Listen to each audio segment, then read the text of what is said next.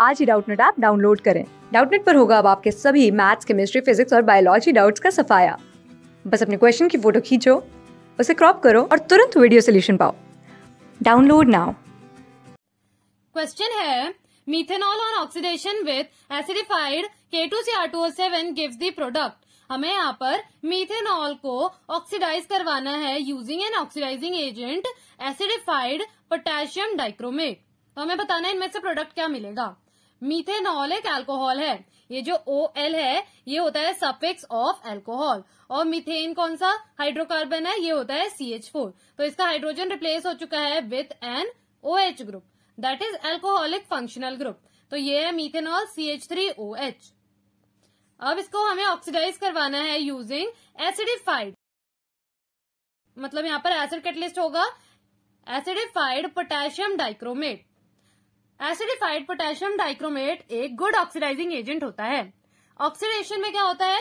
इधर loss of hydrogen और gain of oxygen तो यहाँ पर दो हाइड्रोजन एटम लूज होते हैं, ये वाला एक हाइड्रोजन एटम और जो ऑक्सीजन से बॉन्डेड है, वो हाइड्रोजन एटम तो यहाँ पर प्रोडक्ट मिलेगा हमें एक एल्डिहाइड वन कार्बन का एल्डिहाइड है तो इसे कहा जाता है फॉर्मेल्डिहाइड।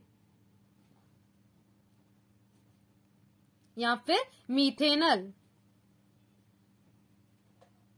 अब ये जो K two C R two O seven है, ये गुड ऑक्सीडाइजिंग एजेंट है और कार्बनल कंपाउंड को भी ऑक्सीडाइज करता है। तो यहाँ पर एक और बार यहाँ पर रिएक्शन करेगा एसिडिफाइड पोटेशियम डाइक्रोमेट और यहाँ पर क्या हो सकता है?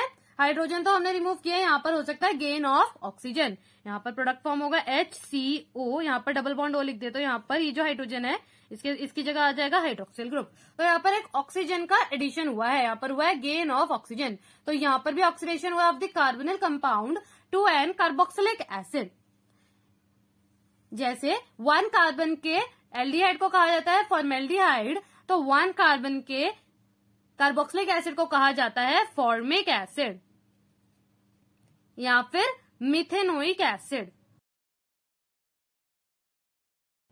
ऑप्शन ए में गिवन है एसिटल्डिहाइड एसिटल्डिहाइड होता है टू कार्बन एल्डिहाइड जो कि यहाँ पर हमें प्रोडक्ट में नहीं मिला, इसलिए ऑप्शन ए इनकरेक्ट है। ऑप्शन बी है फॉर्मिक एसिड तो जो प्रोडक्ट फॉर्म हुआ है oxidation product of methanol is formic acid इसलिए ऑप्शन बी करेक्ट है। ऑप्शन सी है एसिटिक एसिड एसिटिक एसिड होता है टू कार्बन का कार्बोक्सिलिक एसिड जो कि यहाँ फॉर्म नहीं हुआ है, यहाँ पर हुआ है फॉर्म वन कार्बन का carboxylic acid that is that is formic acid इसलिए ऑप्शन सी भी इनकरेक्ट है.